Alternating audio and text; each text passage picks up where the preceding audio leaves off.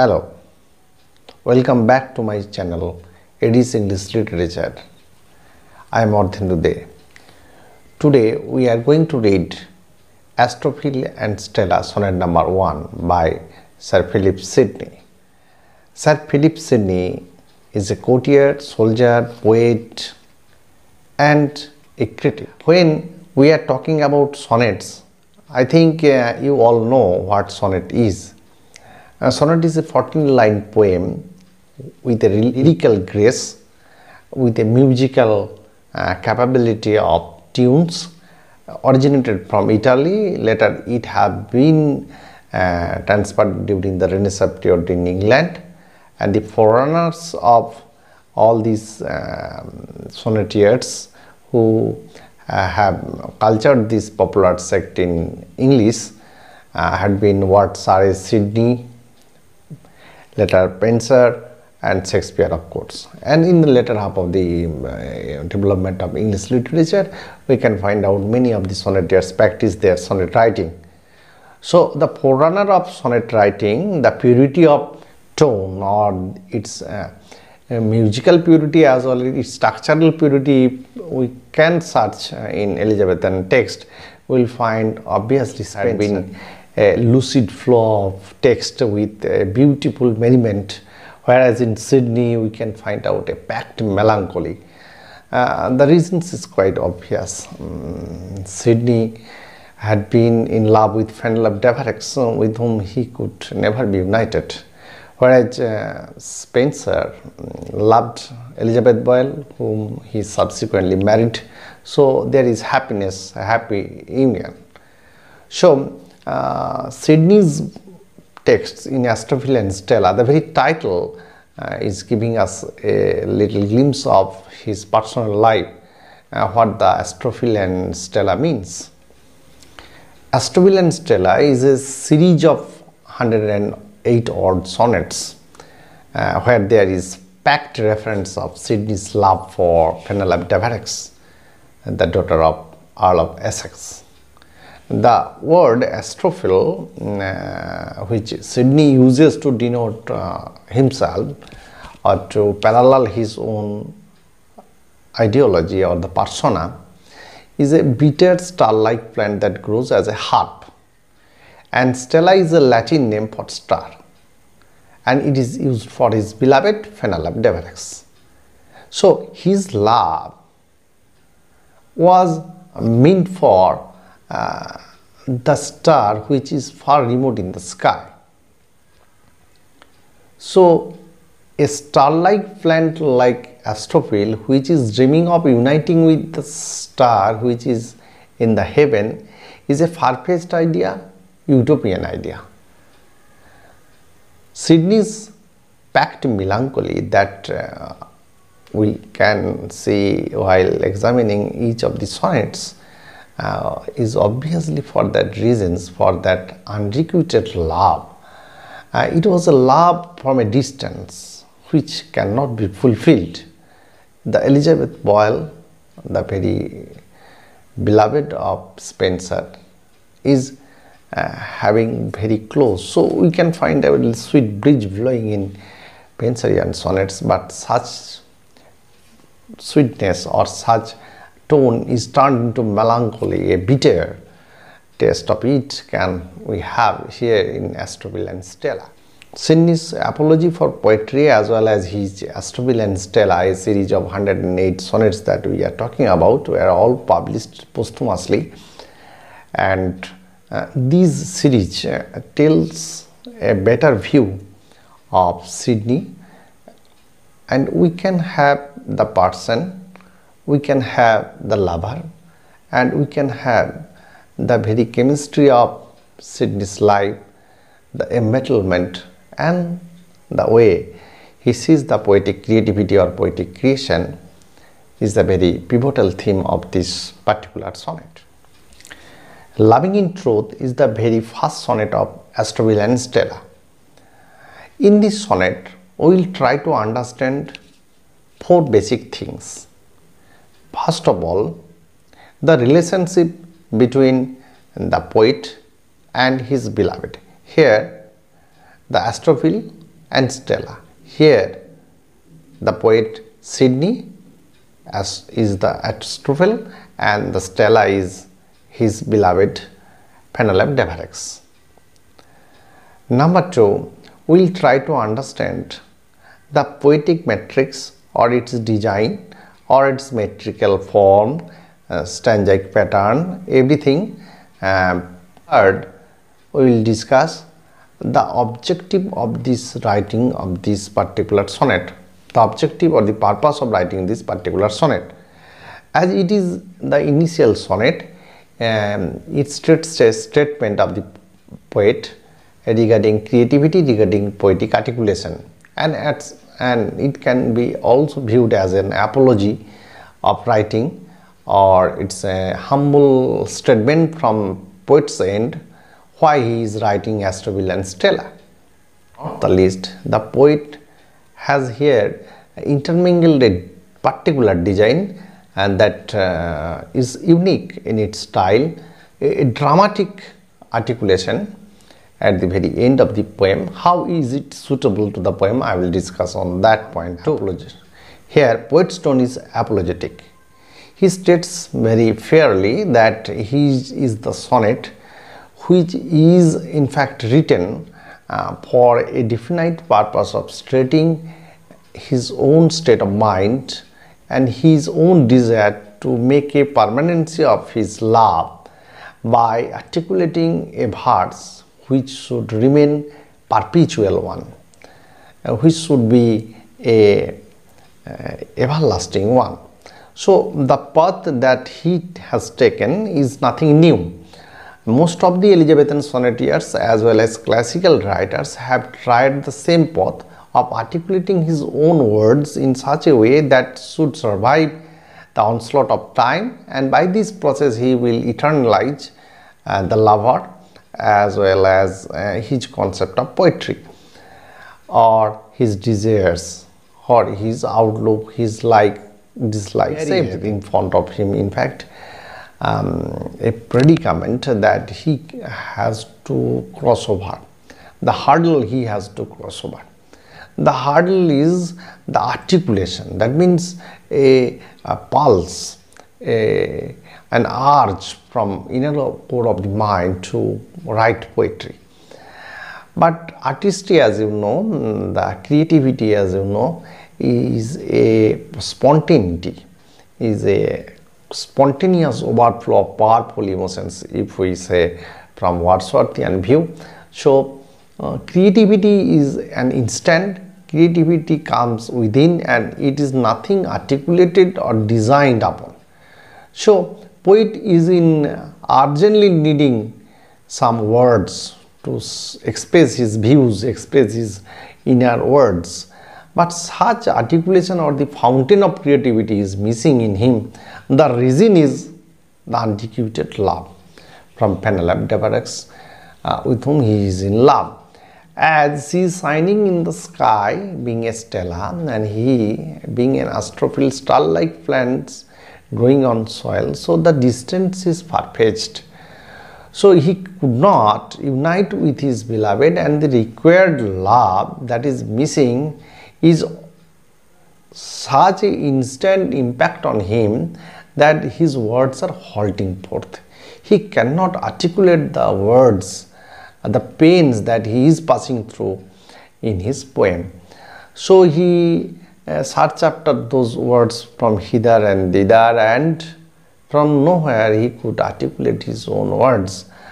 The muse of poetry at last comes and advises him, uh, look in thy heart and write. So these are the preliminary theme of the poem. So a story goes different phrases and different use of rhetorics. It is a sonnet as follows Petrarchan model that means octet and sestet and the first eight lines comprising the same uh, repeated lines repeating like A B A B and again A B A B.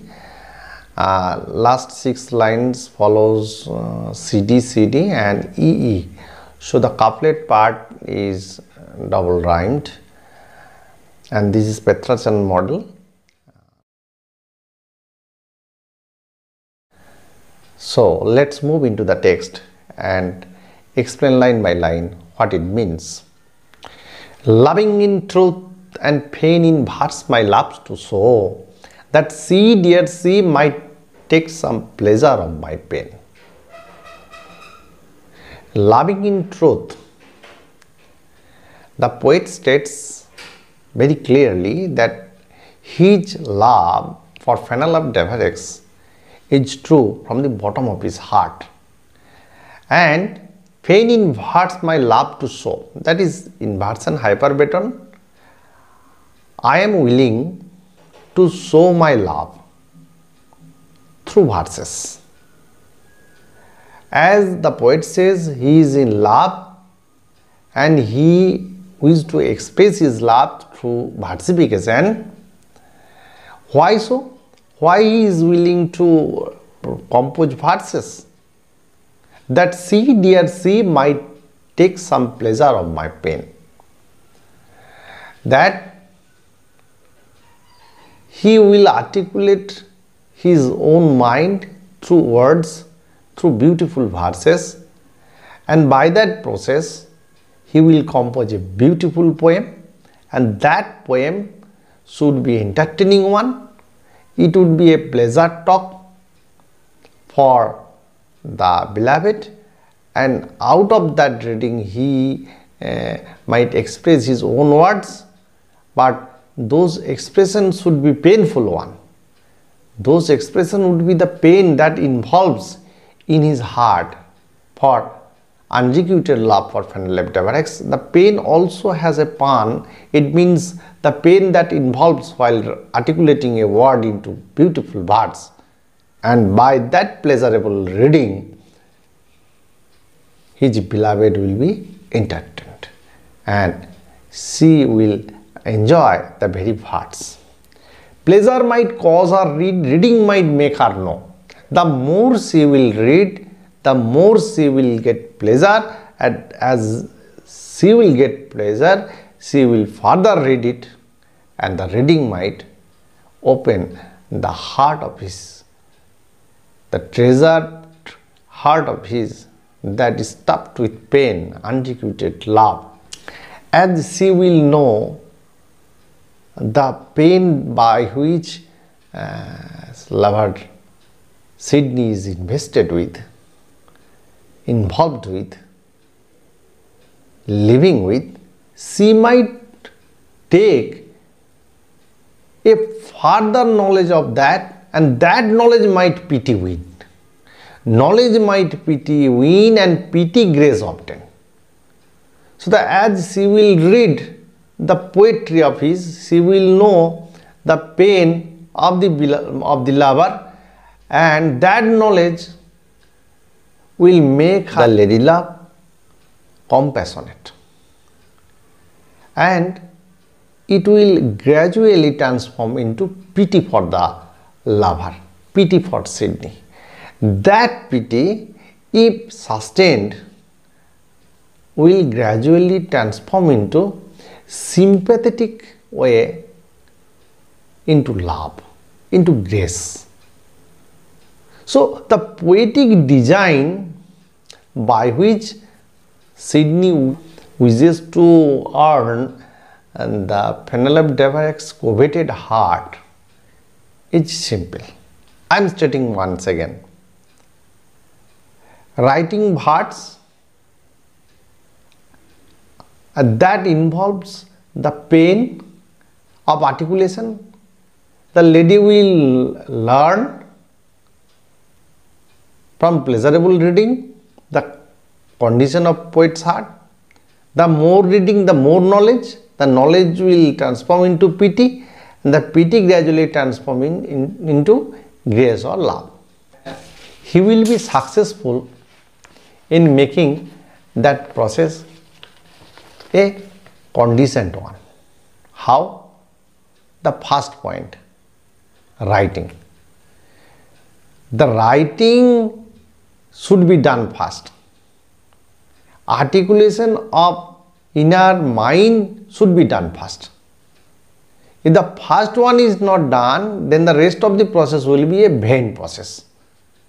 So, in search of perfect word, in search for articulating compact poetry, poet Sidney said, I sought fit words to paint the blackest face of O. Poet said that I am passing through a pain. The O, the ethos, the pathos, the agony with which the poet is living with at present is like that of a woman whose face is black. The which black to be drawn by the poet and to drawing that picture poet needs perfect word. But as infertile is the soil of his love, such is the case of his poetic articulation. He could not find a fit word. He searched after words after word but couldn't find a rightful word that can articulate the agony he is passing through. So he started studying others' poetry he started studying others' poetry so to steal some words that can articulate his agony. Studying inventions find her wits to entertain, of turning others' lips to see if then should flow some praise and fruitful showers upon my sunburnt brain. The poet says, it is fine inventions if I study others' poetry because it is a shortcut. She is witty and her wits to be entertained, so no gross verse would make the entire process is success. So it should be a shortcut if I steal somebody's poetry and write my names. So I started turning others' lips to see if then should flow some fresh and fruitful showers upon my sunburned brain. Myself, my own condition is like that of a sunburned brain, where nothing fruitful is growing, where, where everything is futile, barren, like that of a wasteland. We need some fresh and fruitful showers of creativity. The creativity has been compared to be a fountain, a spontaneous fountain obviously of words. But such is not the case with the poet. The fountains of creativity is missing in him. So he wishes to steal from others if some words can be his own. But words came halting forth, wanting invention, stay. But the real invention or creativity are not possible by others' words. They are halting forth, they are stumbling, they are not coming smoothly. Invention, the poet says, is like a nature's child. Played step them studies blows. Invention, the metaphor is very clear the invention which is nature's child. Creativity is spontaneous, creativity is natural, creativity is divine. And study is like that of a stepmother. Invention is nature's child, but the stepmother is study. If I study and wish to invent, then the relationship is like that of a child with that of a stepdam. Stepdam as like stepmother who always called the child as hers is not the child, always take a stick and blows. Similarly, study will strike on invention, whereas nature's child is invention the spontaneity or spontaneity that comes from within takes care of invention. But study which is a stepmother don't take care. It hates continuous overflow of powerful emotions that comes from within that is invention is a spontaneous thing is a natural thing. Whereas studying is like that of a stepmother and unwanted. Others fit still same but strangers in my way. Even if I find some of the lines from others poetry suitable for me but they looked strangers when I think in my way, when I think this is my way and my way can be expressed through others' lines, then it is surely a strange thing like that of these lines being stranger to my homeland. Thus great with child to speak, helpless in my throes. So here another metaphor has been given by which creativity has been told like that of a child who is yet to be born. He is in the womb of a mother. As the child who is still unborn is expecting to be given birth by the mother and the mother is in pain, such is the condition in me. And the pregnant mother as in their labor pain goes through so many of the turmoil, so many of the pains as well as having a great future hope. Same is me biting my prompt pain, the pain which is till in his hand is like that of a torn child. The child who is not willing to go to school. A runaway, like that of a runaway child, his pain is acting like that. And beating myself spot fight. I am thinking myself disdainfully that what I am doing the pain is not at all ready to write others' words as if my own. He is, it is running away from the very creative urge in me. I cannot state my words through others' lines. At that moment, Fool, said my muse to me, look in thy heart and write the poetic muse pops up and he gave him the advice hey you are a fool. Look in thy heart and write.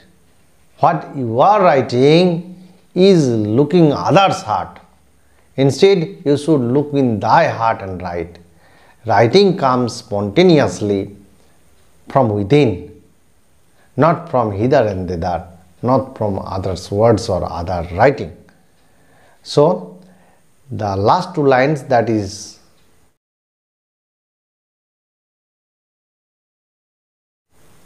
the couplet it states the pivotal point of this poem that creativity or creative urge is a personal thing, spontaneous thing, a thing that comes or a hope that comes or a word that comes from the fountain of your inner heart and that cannot be stolen from others' treasures. The poem is also, uh, as I am giving you a few of the references in this poem, the poem is uh, beautiful with some similes, some metaphors, uh, some of the personification as well as few of the lines also alliterates. Uh, particularly inventions nature's child it's a metaphor. Stepdame study it's also a metaphor. And um, personification also invention as if compared to be a child of nature. Again uh, the pregnant mother with that of uh, the poet who is uh, going to articulate some words in the way of way of his uh, articulation in the way of his stating poetry or in the way of his creation. So uh, again uh, the poetic muse mm, the um, the creativity the mother of creativity has been given a personified face who came and gave the advice to look into the heart of his own.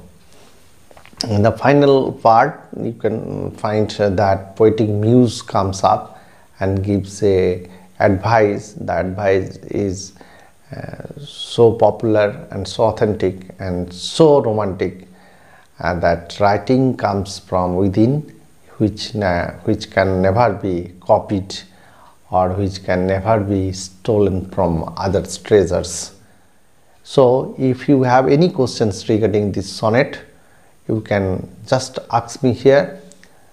So thank you. Stay tuned. Subscribe. Bye bye